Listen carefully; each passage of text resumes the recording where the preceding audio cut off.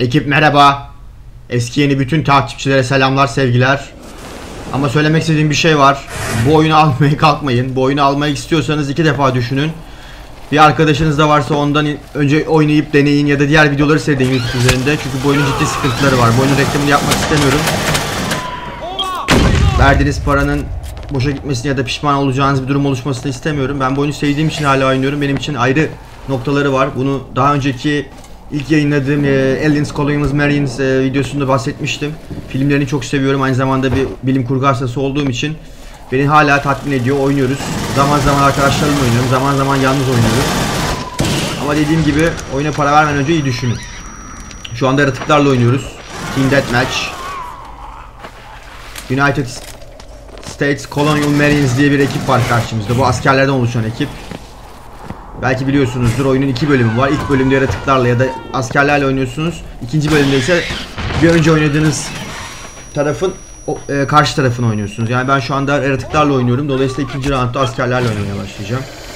Yaratıkların gördüğünüz gibi ciddi bir avantajı var. Çünkü çok uzaktaki düşmanları görmeniz, parlayarak görmeniz, görmeniz mümkün hale gelebiliyor. Dolayısıyla yanlarına çok çabuk gidip hemen saldırabiliyorsunuz. Askerlerin yapabileceği tek şey birlikte beraber durup birbirlerini kollamak, gelebilecek yönlere bakıp tabi belli bir alanı aslında korumaya çalışmak çok doğru. Ee, çok mantıklı. Bu şekilde gördüğünüz gibi dağınık oldukları zaman, tek kaldığınız zaman hele maalesef çok yapabileceğimiz şey yok. Çünkü yaratıkların bir kere hareket hızları çok yüksek. Çok hızlı bir şekilde hareket edebiliyorlar. Ve aynı zamanda düşmanı uzaktan görebiliyorlar. Yani bir nevi yem oluyorsunuz. Burada öldüremedim maalesef. Refleksleri kuvvetli çıktı oyuncunun. Yaratıkların diğer bir avantajı ise farklı tarzda yaratıklar var. Benim kullandığım asker tarzı diye geçen yaratık. Yani yakın mesafede etkili olabiliyor. Eğer uzun mesafede ateş etmeyi becerebilen yaratıklardan kullanabilirsiniz. Düşmanların yanına yaklaşmadan da öldürmeniz mümkün. Uzaktan e, asit fırlatıyorsunuz.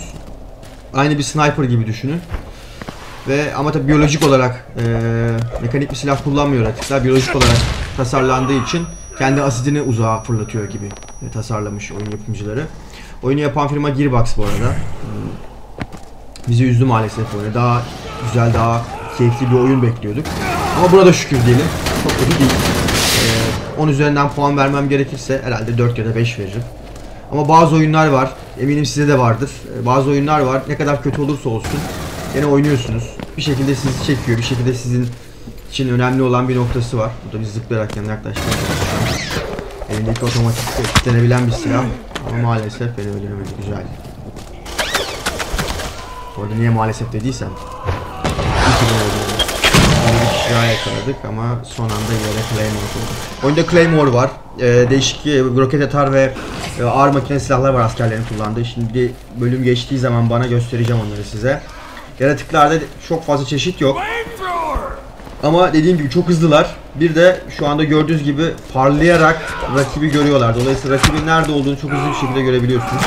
Benim aynı zamanda kullandığım Fluffy diye bir atak çeşidi var şu anda. Çok hızlı bir şekilde pençe sallayıp rakip oyuncuları öldürebiliyoruz. Evet son anda beni öldürmeyi becerdi ama ben de onu öldürdüm. Dolayısıyla çok aslında dandun diye hitap edebileceğimiz karmaşık bir oyun değil. Çok hızlı bir şekilde rakibin yanına gidip öldürmeniz gerekiyor. Strateji yapılabiliyor. Ama genelde yani en azından ben oynarken özellikle yaratıkla oynarken çok strateji yapmayı tercih etmiyorum. Çünkü yaratık çok kuvvetli dediğim gibi. Eğer iyi pozisyonlarsanız kendinizi rakip oyuncuların arkasına ya da göremedikleri açıya doğru kendinizi pozisyonlarsanız şu yukarıdaki diğer yaratığı alayım. Çok rahat öldürebiliyorsunuz. Evet şu anda başka yaratık çeşidini canlandırdım. Bu her zaman açık olmuyor. Harita içerisinde belli bir süre sonra açık oynamaya başlıyor. Bunun özelliği asit püskürtmesi. Asit püskürterek rakip oyuncuları öldürebiliyoruz. Gördüğünüz gibi püskürttüğünüz asit e, rakip oyuncuları anında etkisiz hale getiriyor ama bu yaratığın bir dezavantajı var. Bir iğrenç gözüküyor. bir de e, yürüme şekli biraz e, zayıf. Dolayısıyla uzaktan geldiğinizde e, askerler sizi çok rahat bir şekilde görebiliyor ve etkisiz hale gelebiliyorsunuz gördüğünüz gibi. Aslında arkadan dolaşıp ya da objelerin arkasından dolaşmam gerekiyordu ama direkt koşup şansı denemek istedim. Maalesef olmadı.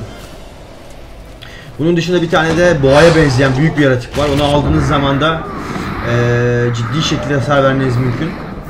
Çok kuvvetli. Kafadan ateş aldığı zaman işlemiyor. Ancak vücuduna vurmanız gerekiyor. Ama bu oyunda gösteremeyeceğim. Evet şu anda son 10 saniye. Yavaş yavaş yaratıklar bizim için bitiyor.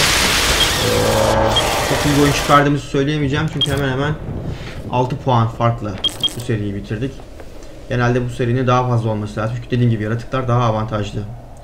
Ama askerler oynarken eğer takımınız kuvvetliyse ve oyun oynamayı en azından takım oyunu oynamayı bilen bir ekiple karşı karşıyaysanız askerleri de çok ciddi bir şekilde kullanmanız mümkün. Evet burada benim kullandığım iki silah var. Bunlardan daha önce bahsetmiştim. Ama kısaca gene bahsedeyim. Önce yere bir Claymore koydum.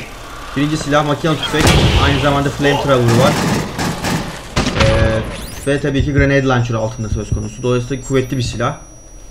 Bu silahla e, eğer iyi oynarsanız yaklaşık 2-3 tane yaratığı cephane bitmeden temizlemeniz, etkisiz hale getirmeniz mümkün. İşte burası oyunda bir bug. Burayı genelde kullanıyoruz ama daha önce bir yaratık oyuncusu beni fark etmiş maalesef. Evet. Sonumuz fena oldu. Otelin üstüne çıktığınız zaman genelde sizi öldüremiyorlar. İyi oyuncular yoksa oradan rahatlıkla yaratıkları öldürüp temizleyebiliyorsunuz. Oyundaki diğer bir özellik ise bu radar. Bu radar size yaratıkların nereden geldiğini gösteriyor. Aslında ürkütücü kullandığınız zaman birazcık e, heyecan ve adrenalin seviyesini arttıran bir eklenti. Ama yaratıkların nereden geldiğini gösteriyor. Dolayısıyla kendinizi pozisyonlayabiliyorsunuz. Ona göre pozisyon alıp e, rakibin gelişi yönüne doğru mevzilenmeniz ya da pozisyonlamanız mümkün. Evet, bir granit rush'ta öldüremedim. Ama mermilerle işimi bitirdim. Bir daha var. Bu arkadaşımı kurtarıyorum. Şu anda iki kişi buradayız. Ee, Allah'tan çok fazla dağılmıyor bizim ekip. Dağılmadığımız zaman savunmamız daha kolay. Eğer dağıldığımız zaman yani tek başımıza kalırsak savunma neredeyse imkansız. Evet, oraya koyulan Claymore çok işe yaradı. Şu anda bizim burası temiz gibi. Bu da Battle Rifle. Bu silahın özelliği de scope'u var gördüğünüz gibi de aynı zamanda yaratıkların nereden geldiğini gösteriyor. Bu çok güzel bir şey. Ee, onların bulunduğu noktayı size belirliyor ama tabi reaksiyon süreniz çok hızlı değil. Maalesef mermiyi tek tek atıyor. Tek tek attığı için de rakip oyuncuları etkisiz hale getirmeniz için neredeyse bir şansınız var. Bir kere vurdunuz, vuramadığınız zaman çoktan sizin yanınıza gelmiş oluyor. Şimdi takımım gene güzel bir şekilde beraberiz. En azından iki kişi buradayız. Ve eee rakip oyuncuların gelmesini bekliyoruz ama gelen giden çok fazla yok. Evet şimdi birileri geldi. Altında sanıyorum ama gözükmüyor. Biraz tehlikeli onun için biraz yukarı doğru kaçacağım. Evet bahsettiğim diğer yaratık buydu. Bizim alamadığımız. Bu gördüğünüz gibi bir boğaya benziyor. Çok büyük bir cüssesi var ve kafadan vurduğunuz zaman maalesef öldüremiyorsunuz. Ancak vücuttan vurduğunuz zaman ölen bir eee, yaratık çeşidi. Allah bir yanıma geldi ama bundan nasıl kurtulacağım? Benim beni öldüren Evet, balerin gibi dans ederek vurmaya çalışıyorum ama! Sanıyorum hala burada evet hala burada. Maalesef o da çok iyi bir oyuncu değil. Çoktan öldürmüş olması lazım. Bu kadar yakına geldikten sonra. Ama evet şimdi burada yaratıklar geldi gördüğünüz gibi. Bizi buldular. Ben tek kaldım.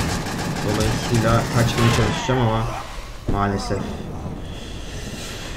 Of ama gene de olsun 5 yaratığı hiç ölmeden öldürmek de aslında bir meziyet. Dediğim gibi yaratıklara karşı askerlerin maalesef etkisi çok zayıf. Çok güçlü değil. Teknolojiyi çok hızlı bir şekilde kullanmak lazım ve takım oyunu ancak oyunu ortaya pozitif bir tablo çıkarmak mümkün. Şimdi takım arkadaşımın yanına gideceğim. Suicide'in demin yanındaydım. Bayağı akıllı oynuyor ve onun yanında durmaya çalışacağım ama bakalım.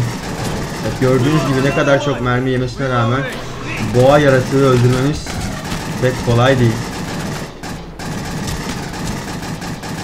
Birazcık daha belki ama mermi kalmadı daha. Bundan sonra çok zor. Bu kadar yakına girmemem lazımdı. Maalesef asfalt yaması yaptılar beni. Evet bir dakika kaldı. Şimdi hemen kendi takım arkadaşlarımı bulmam lazım. Onların yanına şey yapmam lazım ama hepsi dağılmış vaziyette. Dolayısıyla burada tekrar toparlanmaya çalışacağım. Gerek kendi mayın düşeyim. Evet geliyorlar. Bu silah gerçekten çok kuvvetli. Tek atışta e, boğa elini değil ama tek... Of. Basket topu gibi aşağı at. E, boğa yaratığı değil ama normal yaratıkları tek mermiyle bu silahla öldürmeniz mümkün. İyi nişan alıp eğer iyi şekilde oturtabilirseniz mermiyi 30 seconds left! Benim burada yaptığım gibi değil. Mesela yaratıkları tek bir mermiyle indirmeniz mümkün. Artık oyun bitmek üzere. Dolayısıyla elimden geldiği kadar bulunduğum yerde koruma yapmaya çalışacağım. Gelen var mı? Evet bir tane var. Oradaki oyuncuyu öldürebilir. En azından yardım edebilirsem biraz. Evet bitmek üzere. Bu oyunu zaman zaman hala oynuyorum. Dediğim gibi bana albenisi ayrı bir noktadan e, geliyor. Size tekrar hatırlatıyorum. Bu oyunu oynayacaksanız eğer videolardan beğenip oynamak istiyorsanız iki defa düşünün. Görsel anlamda, teknik anlamda ve çoklu oyuncu anlamında ciddi sıkıntıları olan bir oyun. E, çok tatmin etmeyebilir sizi. Bu arada bu sabah bir e-mail aldım ekip. Google'dan gelen bu e-mailde kanal takipçisinin 150'ye ulaştığını söylüyordu. Gerçekten inanılmaz bu kadar kısa süre içerisinde bu kadar takipçi olacağını tahmin etmiyordum ama ben de bununla ilgili bir aksiyon almaya karar verdim. Burada yapmak istediğim şey şu. e, sonuçta her zaman biliyorsunuz Burak Çıksın izleyenlerini ekip olarak nitelendiriyorum ve çünkü hepinizin kattığı bir takım şeyler var. Burada bir platform oluşturmaya çalışıyoruz. Hepinizin e, yorum anlamında, oynayış tarzı anlamında, oyun videoları anlamında kattığı değişik şeyler var. Dolayısıyla bunları bir araya getiremek, bunları sentezleyebilmek adına bir e, ekip ortamı oluşturmak istiyorum ve burada oluşturmak için tabii ki belli bir takım bilgilere ihtiyacım var. Bu tamamen sizin inisiyatifinize kalmış bir şey. Katılmak isterseniz istemezseniz tamamen size bırakıyorum bunu. Ama Bırak Çıksın e, ekibi birinci dalgasında yer almak istiyorsanız bana lütfen e, ilk isminizi, yaşınızı, oturduğunuz ili ve e-mail adresinizi bilgi@bırakçıksın.com adresine yollayın. Bu bilgiler bende kesinlikle gizli şekilde tutulacaktır ve fark ettiyseniz sizden çok kişisel spesifik bilgi istemiyorum. Sadece benim için gerekli olan bilgileri istiyorum. Burada yapmayı planladığım bir takım aktiviteler var, e, etkinlikler var. Tam olarak şu anda paylaşmam doğru olmayacak çünkü benim için de henüz şekillenen bir şey ve sizlerden gelecek olan reaksiyona göre tabii bunu yapacağım. Ama burada yapmak istediğim şey, hedefle, hedeflediğim nokta e, ekibi bir araya getirmek, ekiple daha interaktif bir şekilde e, komünikasyona geçebilmek ve birinci dalga bırak çıksın ekibini oluşturmak. 150 kişinin içerisindeki birinci dalgayı oluşturmak istiyorum. E, çünkü bu benim için çok önemli. Buradaki insanlar çok değerli. Hepinizin desteğiyle kanal şu anda bu hale geldi. Ben de bu desteği ileride ödüllendirmek adına e, bu şekilde bir oluşumla size geri dönüş yapmak istiyorum. Tekrarlıyorum. Bu tamamen sizin isteğinize kalmış bir şey. İstediğim bilgiler ilk isminiz, yaşınız, oturduğunuz il ve e-mail adresiniz. Ek olarak yorumunuz, öneriniz ya da kanala verebileceğiniz katkılar varsa bunu bunu da belirtebilirsiniz. Bu bilgileri lütfen bilgi@bırakçıksın.com adresine yollayın ve bu e-mailleri sadece bir hafta içerisinde kabul ediyor olacağım. Yani bugünden itibaren başlayacak ve bir hafta sonra gelen mailleri dikkate almayacağım. Sadece bu bir hafta içerisinde gelen mailleri dikkate alacağım. E, Bırak Çıksın'ın ekibinin birinci dalgasını oluşturmak için. Ufak bir dipnot, e, bırakçıksın.com adresine yazarken Türkçe karakter kullanmıyorsunuz. Yani Bırak Çıksın şeklinde olması gerekiyor. Buna lütfen dikkat edin. Her zaman olduğu gibi ekip e, izlediğiniz için teşekkür ediyorum. İyi ve keyifli oyunlar. Görüşmek üzere. Kendinize iyi bakın.